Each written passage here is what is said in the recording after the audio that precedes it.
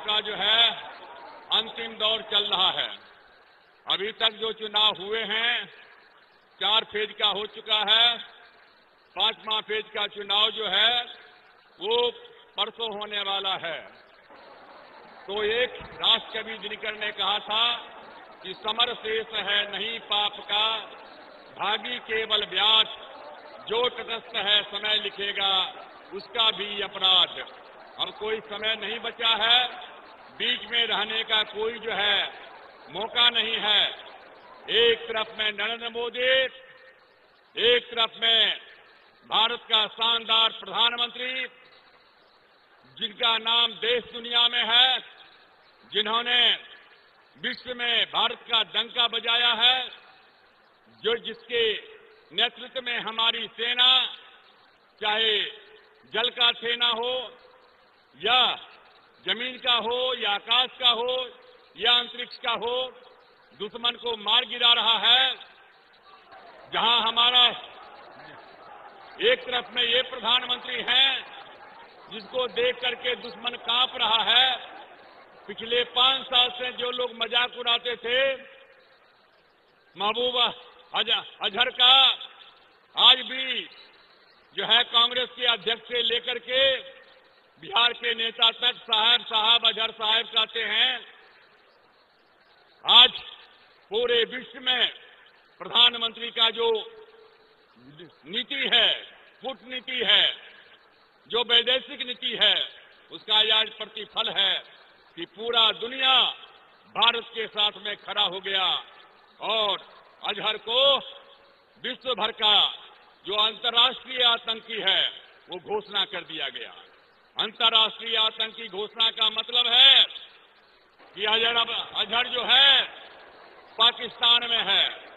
जरा सा भी हरकत किया तो फिर उसकी हालत क्या होगी ओसामा बिन लादी जैसा? ये सब लोगों को जो है पता चल जाएगा। इसलिए साथियों, हमको ऐसे प्रधानमंत्री जी के ऊपर में हमको गर्व है। आज पूरा का पूरा युग एनडीए प्रधानमंत्री जी के साथ में एकजुट है। दूसरी तरफ़ में जो विपक्ष का पार्टी है, वो बिखरा हुआ है, टूटा हुआ है। एक तरफ़ में विकास है, दूसरी तरफ़ में विनाश है। एक तरफ़ में जो है, प्रधानमंत्री हमारा जो है लव पुरुष है। और दूसरी तरफ़ में जो है, चूहा का दिल रखने वाला जो है, सब नेता है। कोई जो है, किसी के पास में ताकत नहीं है कि लीडर ऑफ़ दी अपोजिशन बन जाए। साथियों, मैं आपका ज़्यादा समय नहीं लूँगा। मैं इतना ही कहना चाहूँगा हम लोगों ने जो पावर टू द पुअर का नारा दिया था, उस पर हम काम कर रहे हैं। आरक्षण का मामला है। हम एक बात कहना चाहते हैं, ये प्रचार कर रहे हैं। आरक्षण आरक्षण। कांग्रेस ने आरक्षण नहीं दिया था, अनुसूचित जाति, जनजाति का। कांग्रेस ने पिछड़ा वर्ग का आरक्षण मंडल कमीशन लागू नहीं किया था।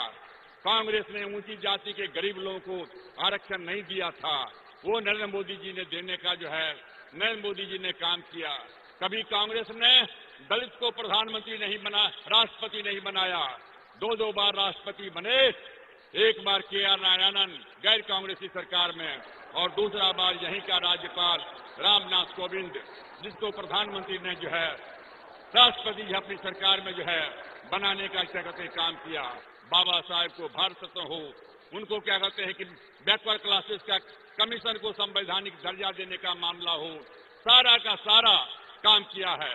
और याद रखना भाइयों, जैसे हमारे यहाँ है, जादव है, कुर्मी है, कोयली है, नाई है, तेली है, तमोली है, लोहार है, कुम्हार है, बरई है मलाह है, निषाद है, बिंद है, बनिया है, चौरसिया है तकमा है, तांती है, कानू है धानुक है, पाल है, चंद्रवंशी है तीयर है बांतर है अति पिछड़ी जाति के लोग हैं, उसी तरीके से प्रधानमंत्री जी हमारे जो हैं, प्रधानमंत्री लोगों को पेट में दर्द हो रहा है।